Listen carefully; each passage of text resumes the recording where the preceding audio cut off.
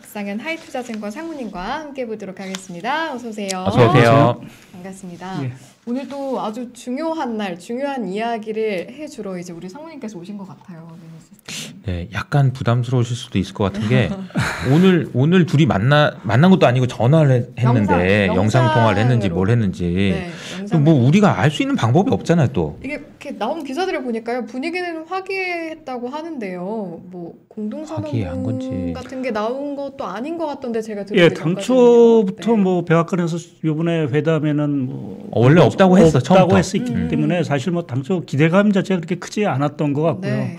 뭐 실제로 저희가 아직 뭐 구체적인 내용을 사실은 접하기는 어렵고 뉴스에 그렇죠. 나온 것만 이렇게 접해 보게 되면 어 뭐 결론적으로 말씀드려서 서로 이제 갈등은 봉합하지 못한 것 같고 음. 어떻게든 간에 윈윈할 수 있는 방법을 좀 찾아보자. 음. 라고 조금은 그냥 3월 알래스카 그 고위급 회담 당시보다는 조금 그래도 분위기가 나쁘지 않았다라는 그나마 정도로. 나은 거죠. 예, 좀 아니 좀- 제가 이제 외신 같은데 보면은 네, 이런 네. 표현이 있더라고. 미국에서 이제 바이든이 가면서 아 우리 이러다가 전쟁 나겠다 야.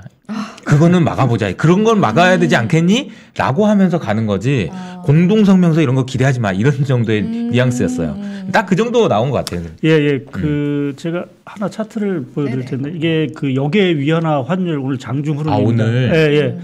예, 초반에는 사실은 그 위안화가 강세가 됐죠. 그래서 뭐 지금 한 7월 초 이후 가장 이제 음. 낮은 수치로 그러니까 위안 달러 자체가 이제 떨어져 위안화가 강세가 됐는데 점차 이제 좀 시간이 흘러가면서 그러니까 제가 나올 때쯤 이제 지금 시각에서 보면은 딱 그 전일 수준에 딱 또- 다시 올라왔습니다. 아. 그러니까 지금 시장의 반응 자체가 아무것도 없었네 이런 반응. 어, 아무것도 없었다기보다는 사실은 뭐 쇼크도 없었고 음, 그러니까 surprise도 없었다라는 아. 정도라고 이제 평가를 좀 하는 것 같고요. 또 외신 반응들을 이렇게 종합해서 보게 돼도 네.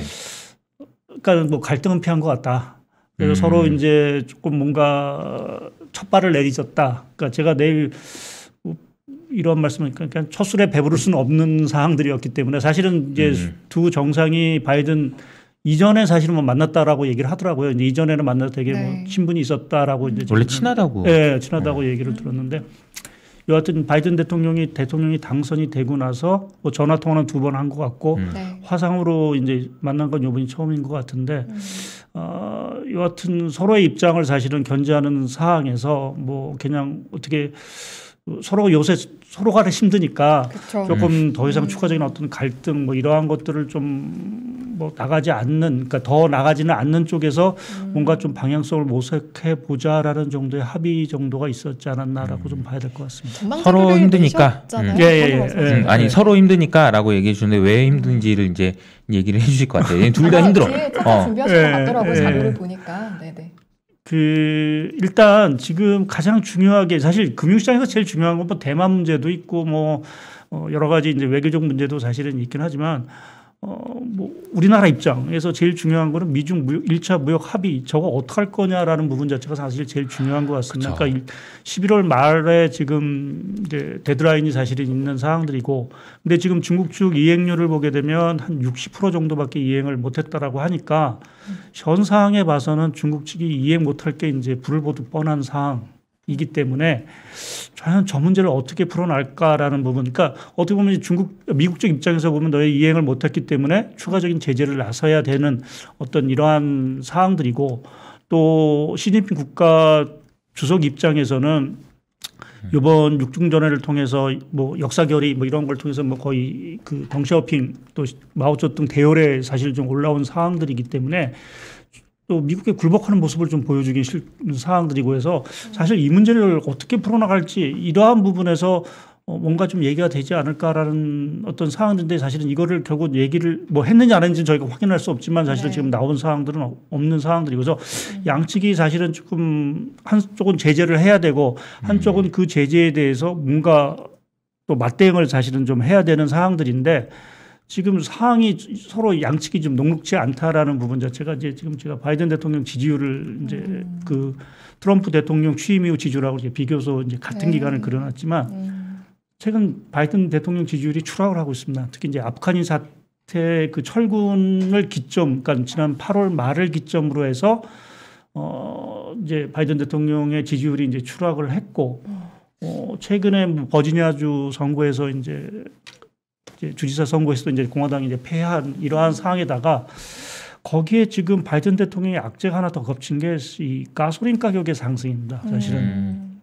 그 제가 차트를 하나 보여드릴 텐데 어, 최근 미국 뭐 주식시장은 뭐 계속 랠리를 빌고 있고 뭐 ISM 제조업 지수라든지 여러 가지 지표들 자체가 뭐 상당히 견조한데 단 하나 안 좋은 지표가 지금 이 미국의 소비, 소비 지- 지수 네네. 이 소비 지수입니다. 최근에 그러니까 지난주에도 발표됐는데 급락을 했는데 미국이 그 가솔린 가격 자체가 갤런당 3불을 넘어서게 되면 항상 보면 시- 불만이 터져 나오거든요. 보통은 몇 불이 일반적인 거예요? 그러니까 낮으면 뭐한 저기 1불에서 주황색 예, 불인데. 2불 뭐 한데 통상적으로 요 3불 내를 넘어서게 되면 이 소비 심리 자체가 급격히 위축되고 하는 이러한 상황들이 항상 어김없이 발전. 그러니까 미국은 이 가솔린 가격에 대해서 일반 대중의 심리가 상당히 그 아주 즉각적으로 나오는 어떤 그 과거의 패턴을 좀 보여주고 있고요. 이번 아, 같은 이게 경우도 왜, 이게 왜, 왜 그러는 거예요?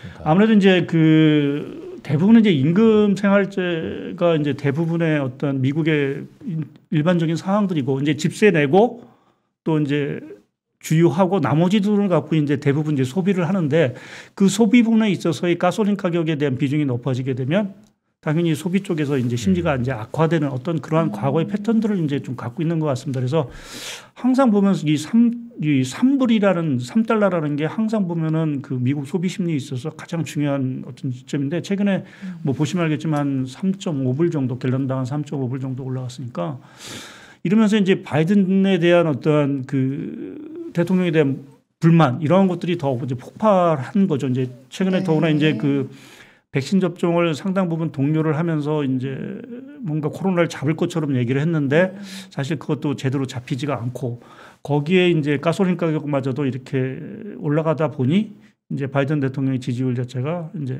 상당 부분 추락하는 그래서 어 바이든 대통령 입장에서 보게 되면 이 민심 이반을 가지고 중요한 내년 중간 선거를 치르기가 사실은 조금 어려워지는 어, 이러한 국면으로 좀 가고 있습니다. 그래서 제가 이러한 것들을 말씀드린 이유 자체는 여기에 사실은 또 이제 인프레가 뭐 다 아시겠지만 뭐 이렇게, 뭐 이렇게 항상 이렇게 올라가다 보니까 저거를 결국 이제 안정을 시켜야 되는 게 가장 중요한. 그래서 최근에 바이든 대통령의 그 이렇게 핵심 정책 그 우선순위를 보게 되면 처음에 들어왔을 때는 이제 그 백신 맞추고 이제 코로나 위드 코로나 가는 게 이제 가장 일차적인 목표였는데 네. 최근에는 에너지 가격 안정 이거를 사실 얘기를 하고 있습니다. 그거는 이제 기본적으로 미국 대중들의 어떤 불만 이러한 것들을 잠재우고자 하는 사항들이기 때문에 그러한 부분에서 보게 되면 이 에너지 가격 자체를 이제 안정시키기 위해서 최근에서 그 소위 전략 비축유를 뭐 풀까 말까 이제 고민을 좀 하고 있는 사항들인데요. 네. 근데 제가 이 말씀 드린 이유 자체는 오늘 미중 정상회담에서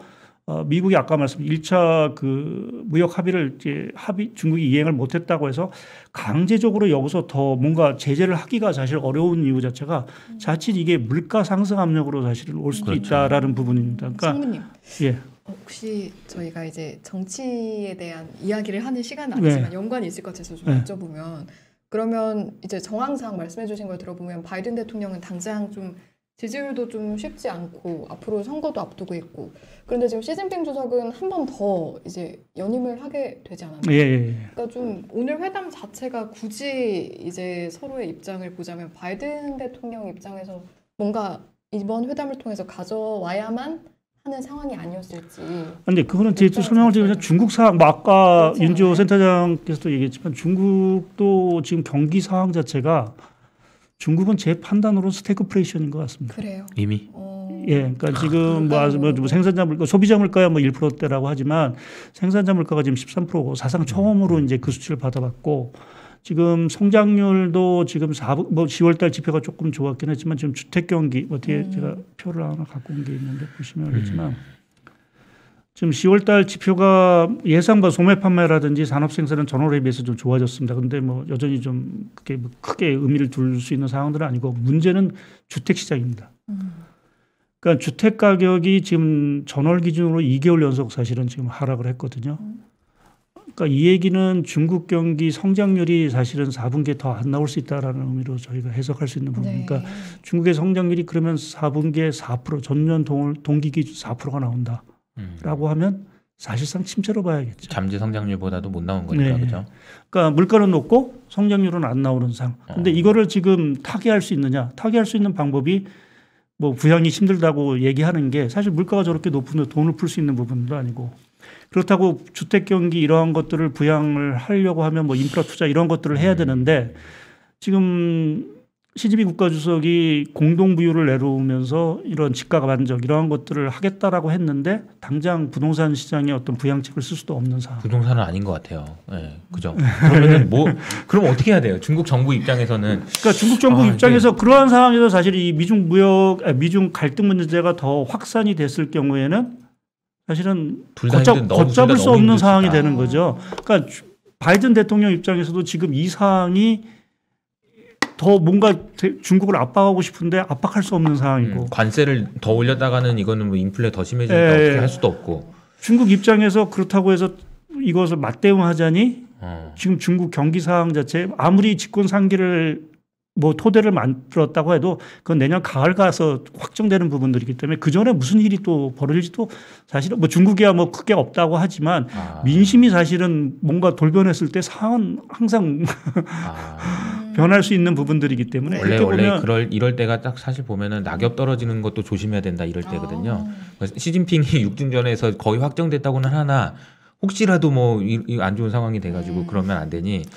음. 그래서 중국이나 미국 입장에서 양 쪽에서 봤을 때 지금 갈등 문제 자체가 어, 더 확산되는 걸 사실은 반길 수 이- 없는 상황들인 것 같고요. 아 그렇죠 그렇죠 그렇죠. 그래서 오늘 뭐 그나마 하나 이제 제일 이제 어떻게 보면 핫한 뜨거운 감자가 사실 대만 문제였던 것 같은데. 그러니까요. 예, 거기에 대만- 대해서는 그래도 바이든이 그래도 음 예, 약간은 좀 니네들. 약간은 뉘앙스가 어. 중국 측 입장을 좀 그러니까 좀- 들어주는 듯한 그죠. 그러니까 하나의 중국을 지지한다라는 부분 자체는 아, 기본적으로 중국 측 입장을 사실은 이제 들어주는 거기 때문에 그렇게 보면은 그러한 의미에서 보게 되면 이번 회담 자체가 여하튼 뭔가 좀 돌파구를 마련하기 위해서 서로 간에 좀 뭔가 참았다라는 부분으로 좀 어, 저는 해석할 수 있지 않을까라는 네. 좀 생각을 하고 있습니다. 근데 미국 입장에서 그렇다고 해서 대만을 포기할 수는 없는 거고요. 그렇죠. 지금 뭐 그렇겠죠. 특히 이제 반도체라든지 공급망 재편 음. 과정에서 대만이 여전히 핵심 어떤 뭐 TSMC라든지 이런 것들이 핵심 이슈이기 때문에 당연히 뭐 대만을 그렇다고 중국에 넘겨주는 이러한 사항들은 음. 아니긴 하지만 네. 그렇다고 음. 대만의 독립까지 지지하는 이러한 쪽의 입장까지는 가지 않는 이러한 쪽에서 약간은 좀 타협을 본 사항들이 아닌가라는 쪽에 좀 생각을 하고 있고요. 네. 그래서 어, 뭐 오늘 회담에 대해서 제 개인적으로 제 개인적인 판단입니다만은 그렇게 나쁘지는 않았다라는 음. 쪽에 총평을 좀 할 수 있는 것 같고 이제 여하튼 숨통은 털어놨으니까 음. 이제 남은 과제는 뭐 이제 밑에 사람들이 만나서 뭔가 좀 음. 문제를 좀 풀어가는 뭐 이 정도의 수순이라고 보면 조금은 어뭐 시장이 기대도 안 했지만 뭐 결과 자체도 그렇게 나쁘진 않았다라는 쪽에 좀 평, 총평을 내릴 수 있을 것 같습니다. 그렇습니다. 아까 뭐 위안화 얘기도 좀 해줬지만 시장의 시장의 가격 변수가 변하는 걸 보면 뭐 기대도 안 했는데 뭐 그냥 뭐 최악은 아니네 뭐 그냥 그런 정도의 느낌인 것 같네요. 예, 예, 맞습니다. 아, 뭐 우리 오늘 우리나라 증시 자체도 사실은 뭐 별다른 반응은 뭐 좀 왔다 갔다 했긴 했지만 네, 거의 네, 이제 네. 보합권으로 사실은 좀 끝났고요.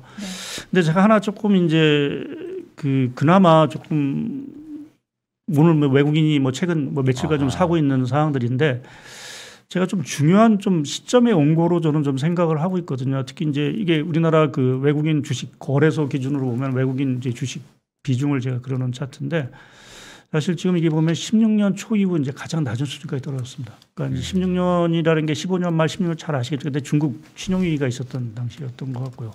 이제 그 수준까지 떨어진 상황에서 오늘 만약 정말 양측이 또 지난 3월처럼 뭐 으르렁대면서 싸웠다라고 했을 때 외국인이 여기서 더 팔 수 있는 어떤 그러한 좀 아주 critical point였는데 여하튼 그 정도까지는 아니다라는 측면에서 보게 되면 어, 외국인 입장에서 보면은 여기서 뭐 더 사게 산다라는 말씀은 좀 드리기는 어렵지만 여하튼 매도를 조금은 이제 음. 어떻거나 조금 줄일 수 있는 어떤 그런 시점은 사실은 좀 온 게 아닌가라는 쪽에서 오늘 미중 정상회담이 상당히 좀 중요했는데 그나마 그래도 조금 그러한 측면에서 뭐 외국인이 더 팔 수 있는 어떤 그러한 트리거를 제공하지 않았다라는 측면에서는 조금 긍정적으로 좀 볼 수 있는 게 아닌가 저는 좀 보고 있습니다. 네. 그렇군요. 지분율로 보니까 진짜 많이 빠졌네요. 음, 미중 정상회담 오늘 이제 오늘 당장 나온 내용은 그렇게 많지는 않아서 저희가 이야기를 하는 좀 약간은 제한되는 부분도 있는 것 같은데 보통 이렇게 이제 정상회담이 끝난 후에 좀 이후에 좀 관련 정보나 그 결과에 대한 걸 저희가 알 수 있는 경우도 있었나요? 과거에? 예, 뭐 아무래도 이제 회담이 끝나고 나서 뭐 이제 회담 내용이 이제 슬슬 이제 알려지기 시작을 하겠죠. 이제 그러고 나서 아까 말씀드린 대로 이 1차 무역 합의가 여하튼 사실 12월 말 데드라인으로 있기 때문에 미국 측 입장에서 보면 이 부분에 대해서 뭔가 매듭은 짓고 가야 되는 부분들이 분명한 것 같고요. 이제 그러한 측면에서 보면 지난 14일 날 앨런 재무장관이 CBS 인터뷰 이렇게 방송에 출연하면서 한 얘기가 어, 지금 무역 대표부에서 1차 무역 합의에 대한 어떤 수정안 이런 것들을 만들고 있고 또 일부 관세 인하에 대해서도 검토를 하고 있다라고 약간 긍정적인 얘기를 했습니다. 네. 음. 그러니까 아까 말씀드린 대로 미국이 지금 물가 상승 압력 뭐 이러한 것들이 상당 부분 이제 심하다 보니까 여러 측면에서 좀 관세를 좀 인하하고자 하는 욕구들이 사실은 조금 있는 것 같고요. 그러한 측면에 제가 하나 차트를 하나 좀 보여드리겠는데 지금 미국의 그 소비자 물가 중에서 이 내구재 항목에 대한 그 물가 지수입니다. 이게 증가율은 아니고 이제 전체적인 지수인데 사실 미국이 물가 안정에 있어서 가장 기여를 했다라고 하는 게 이 내구재 항목입니다. 아, 내구재 항목이 추세적으로 이제 95년도부터 보면 추세적으로 쭉 내려왔기 때문에 어, 이 부분 자체가 미국의 어떤 그 물가 자체가 왜 저렇게 계속해서 안정을 하- 계속해서 물가 수준이 떨어졌냐 그동안 보게 되면 이 내구재 항목이 큰 기여를 했었거든요. 네. 근데 이게 18년 9월을 기점으로 해서 이게 사실 좀 올라오기 시작을 했습니다. 그러니까 아, 이때가 이제 코로나- 관세를 이제 코로나 이후가 아니고 저때부터네요. 음. 정확하게. 그러니까 위중 그 트럼프 행정부 시대 18년 3월 이때 아마 제가 알기로는 이제 관세를 이제 부과를 처음으로 해- 예, 이제 하고 이제 그. 효과가 이제 나오기 시작한 게 시차를 두고 보면 뭐 아하. 6개월 정도 있었겠죠. 그 후로 사실은 이렇게 올라갔다라는 부분에서 보면 뭐 이게 코로나 영향도 일부 있긴 하겠지만 어, 그렇게 보면은 분명히 그 앨런 의장도 앨런 재무장관도 이- 인정을 했지만 그 중국산 제품에 대한 고일 관세가 미국의 물가 압력에 사실 어느 정도는 영향을 미쳤다. 음. 그래서 그, 그러한 차원에서 보면 미국도 뭐 전 품목을 다 내리긴 사실은 좀 어려울 수 있는 부분들이 있는데 일부 항목에 대해서 그러니까는 뭐 그러니까 특히 이제 기술과 관련된 아주 하이테크와 관련된 쪽이 아니라고 한다고 하면 어, 말씀드린 대로 조금 관세 인하 이 부분을 사실은 좀 검토하지 않을까. 근데 그 전제 조건은 중국이 어, 1차 무역 합의를 못했으니까 또 다른 어떠한 뭔가 좀 보답을 좀 하는 어떠한 그러한 그, 또 다른 선물을 줘야겠죠. 그래서 네. 그러한 합의 자체가 연말까지 어느 정도 이게 양측에서 이제 물밑 교섭을 통해서 이루어지느냐라는 부분 자체가 어, 상당히 좀 중요할 수밖에 없는 상황. 그러니까 대만을 일단 그렇게 얘기했다는 얘기는 좀 여지를 남겨놓고 좀 얘기를 해보자 이렇게도 이해할 수 있지 않을까. 예 그리고 제가 뭐 궁금한 얘기를 사실 좀 많이 하는데 네.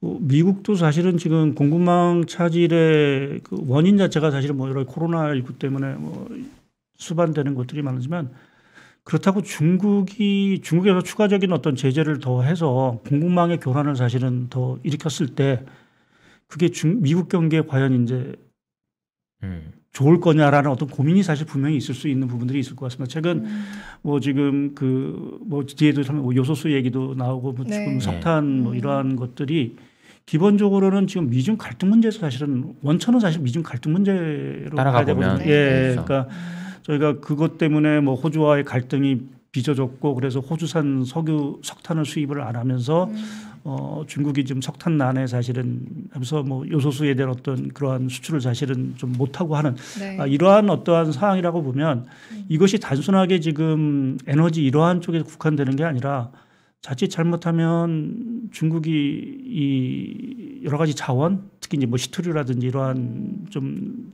특- 특히 이제 최근에 첨단 제품에 필요한 여러 가지 그 자원을 이제 무기화하는 듯 하면서 공급망 자체를 더 교란을 시켰을 때는 그건 미국 경기에도 상당히 그 음. 독이 될 수밖에 없는 부분들이고 해서 네. 어, 이 정도에서는 뭔가 좀 저점을 좀 찾고자 하는 어떤 양측의 좀 이해관계가 오늘 회의에서 어느 정도는 조금 서로 간에 좀 교환이 있지 않았을까라는 좀 생각을 하고 있습니다. 궁금하네요. 이야기가 나온 김에 이제 요소수 이야기로 좀 넘어가 보면 요즘에 정말 뉴스만 틀면 요소수 요소수 이야기인데 요소수 뭐 대라는 물론이고 요소 비료 예, 뭐 예. 품귀 현상이 빚어지고 있다고 예, 하는데 예. 뭐 아까 저는 오전에 뉴스 보니까 정부에서 산업용 요소수를 이제 차량용으로 전환해서 쓸 수 있나 이것도 좀 알아보고 있었는데 추가 실험이 필요하다 이런 상황이더라고요. 일단은 저희가 이제 오늘 미중 정상회담 이야기, 중국 이야기까지 끌어가고 있으니까 지금 요소수 대란 상황은 결국엔 종착지가 어떻게 되는 걸까요? 그래서 뭐 제가 음, 너무 큰 질문이죠. 너무 어려운 질문이신 네. 것 같은데 제가 뭔가 이렇게 요소수가 대단히 풀릴다 아니다 이렇게 음. 딱 말씀드리긴 좀 쉽지는 않은 문제인 네네. 것 같고요. 그러니까 그 문제 자체도 그러니까 그좀 전에 말씀드린 대로 사실 뭐 미중 갈등 문제라든지 이러한 것들 자체가 원한인지 풀려 나간다라고 하면 그 문제도 자연스럽게 좀 풀려갈 수 있는 부분들인 것 같고요. 특히 지금 우리가 이번에 요소수와 관련된 어떻게 보면 좀 대란을 사실은 겪은 부분 자체가 어, 이 원천을 보면 사실은 이 공급망 차질에 사실은 좀 왔다고 좀 봐야 될 것 같습니다. 그러니까 지금 저희가 코로나 19가 터지고 나서 사실은 저희가 이전에는 뭐 제가 이런 표현을 많이 쓰는데 경험하지 못한 것들을 상당히 많이 경험을 하게 되는데 이 공급망 차질에 대해서도 사실은 저희가 이렇게까지 고민을 해본 적이 사실은 좀 없었던 것 같고요. 네. 맞아요.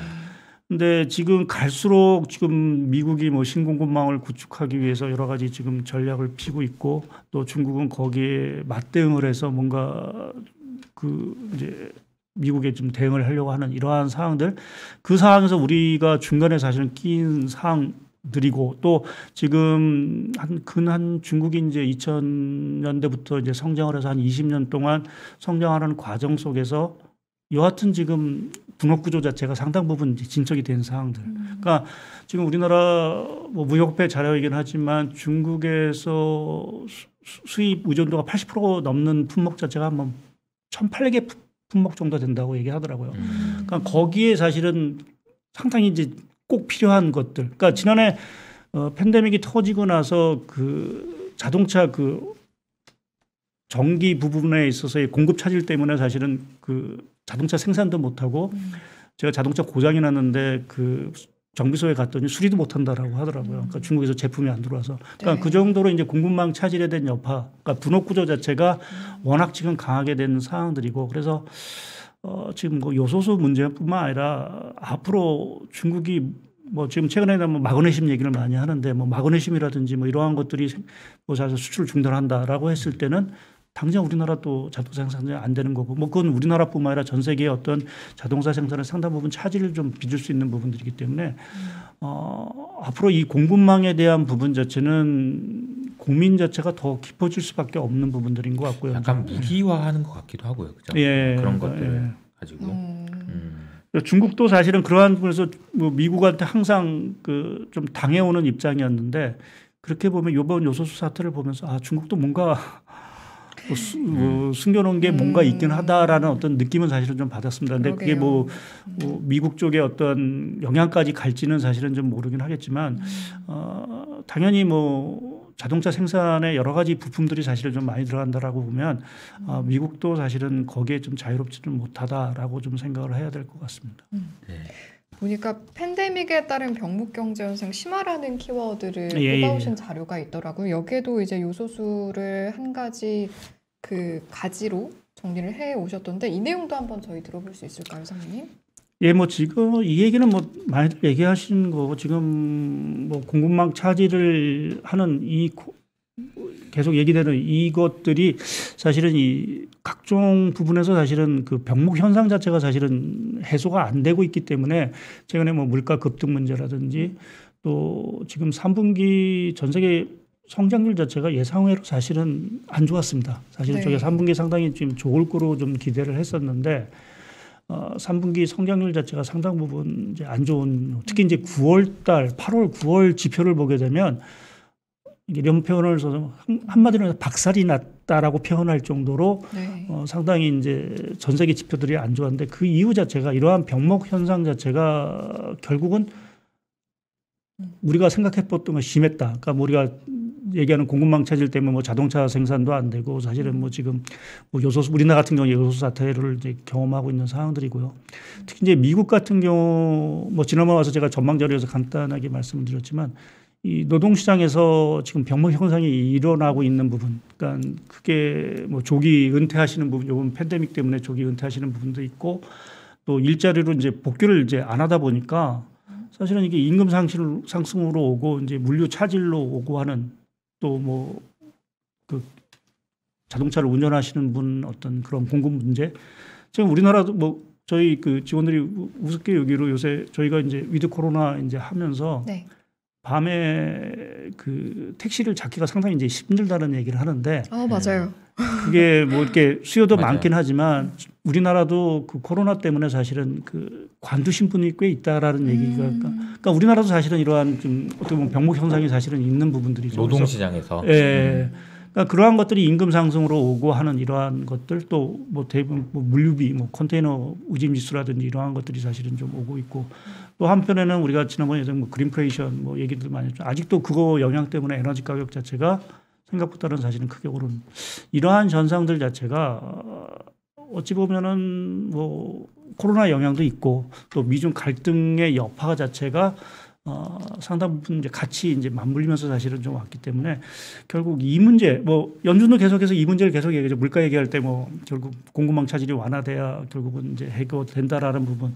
그러니까 저희가 뭐 위드 코로나 얘기를 사실은 계속 강조를 하고 있는 이유 자체도 어떻게 보면은 뭐 여러 가지 이제 경제 활동의 어떤 정상화 얘기도 있긴 하지만 공급 측면에서 보게 되면 이러한 병막 경제 현상이 완화가 돼야 사실은 뭔가 원활하게 돌고 그것이 이제 물가로 결국 완화로 이어지고 뭐 그러면 이제 뭐 금리라든지 이러한 것들도 안정을 찾고 하는 이러한 것들 뭐 그래야 뭐 중국도 사실은 또 부양도 할 수 있는 부분들도 오기 때문에 그러한 측면에서 보면 이 병목 경제 현상 자체의 완화가 사실은 현실화 되느냐 그것이 또 어느 정도 빨리 되느냐에 따라서 전체적으로 뭐 경기라든지 금융시장에도 상당 부분 좀 긍정적인 영향을 줄 수 있는 어떤 거로 좀 봐야 될 것 같습니다. 네. 오늘 또 모처럼 상무님을 모셨으니까 이 내용도 좀 여쭤보고 싶은데 어제 베이징 증권거래소가 개장을 했잖아요. 개인적으로는 이제 첫날에는 등락에 제한을 두지 않는다 그래서 저는 약간 500% 오른 이런 곳들도 굉장히 눈에 띄고 관심이 많이 500%? 갔는데 500% 오른 곳이 있어요.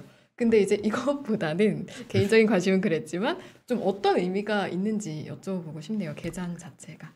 그러니까 뭐 지금 그건 또 시주석의 의지로 사실은 네. 이제 된 거고 특히 이제 워낙 중국 기업들 또 이렇게 이제 신성 그 이제 벤처 기업들이라고 봐야겠죠. 뭐 스타트 기업들 자체가 이제 자금 조달을 이제 해외에서 주로 이제 또 미국 시장을 통해서 하다 보니까 어, 그것을 사실은 어떻게 보면 좀 줄이고 그 그게 우리나라는 국민은 투자를 못 하게 돼 있나요? 베이징 아니 거래소. 그것까지는 제가 정확하게는 그런가요? 잘 모르는데 일단은 뭐, 일단 저희가 할 수 있는 방법이 일단은 어, 현재는 쉽- 없을 것 같은데 않겠죠, 저희가 그죠? 뭐 지금 뭐 후광통이나 이런 어, 쪽으로 해서는 안 될. 당연히 안 되는 거고 그러니까 뭐, 이제 예. 딱 말씀하신 게 맞는 게 야 우리나라 회사인데 우리나라 국민이 투자해서 어 우리가 잘 되면은 우리가 먹어야지 이건 것 같아. 어 딱 그건 것 같아. 음. 그러니까 일종의 공동부유의 연장선상으로 좀 봐야 되겠죠. 공동부유. 그러니까, 예, 어. 그러니까 지금 여기 투자하면 보면은 니네도 부자 된다. 아. 어 이런 거죠. 그런 것도 있고 또 한편에서 보면은 그 빅테크 미국의 빅테크 규제에 대해서 결국 대응하는 어떤 하나의 방법이 되겠죠. 그러니까 니들 음. 미국에 사지 말고 국내에서 자금 조달을 해서 육성해라.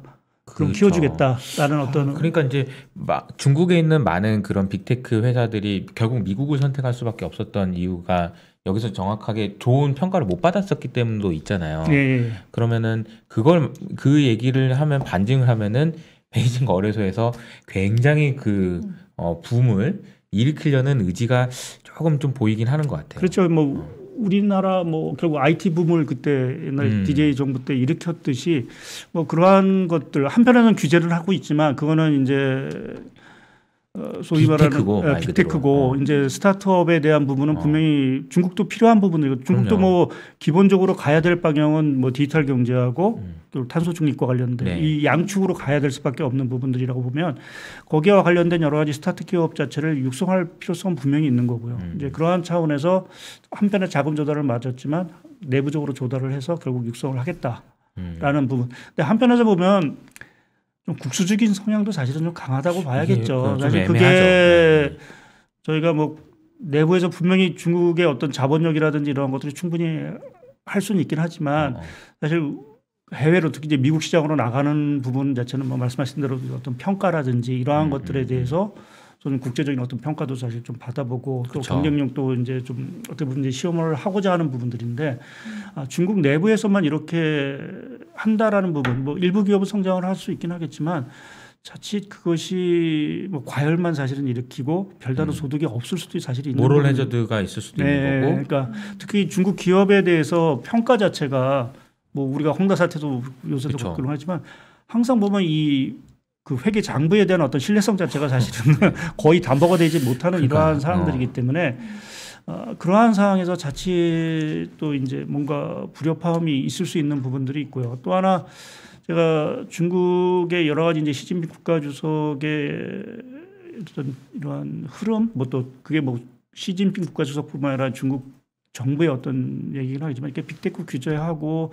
뭐 사교육 규제하고 음. 특히 이제 뭐 외국 교육 못 시키고 그렇죠. 하는 이러한 그 국수적인 성향들 그러니까 이러한 것들이 너무 이렇게 우리가 뭐 세국 정책이라고 할까요? 뭐 그 정도까지는 아니더라도 이 디지털 경제라는 게 항상 보면 국경 없이 모든 게 이제 혁신적인 어떤 개념으로 사실은 가야 이게 성공이 뭐 된다라고 저희가 인식을 하고 있는 부분을 사실은 계속 틀어막고 한다라는 것 자체가 그렇게 뭐 아무리 그 시장 자체가 처음에 초기에 성공을 할지 모르긴 하겠지만 그렇게 썩 좋아 보이지는 사실은 좀 않는 것 같습니다. 음. 네, 알겠습니다.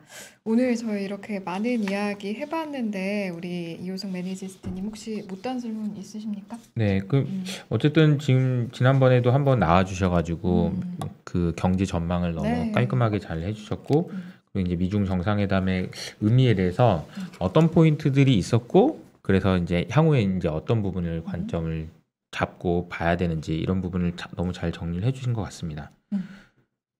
아, 저 질문이 또 있으신 줄 알고 기다리고 있었네. 네. 맞아요. 정리를 네, 참 정리를 잘. 해주셔서 너무 감사합니다. 네. 네. 우리 상무님께서는 혹시 못다하신 말씀 있으실까요?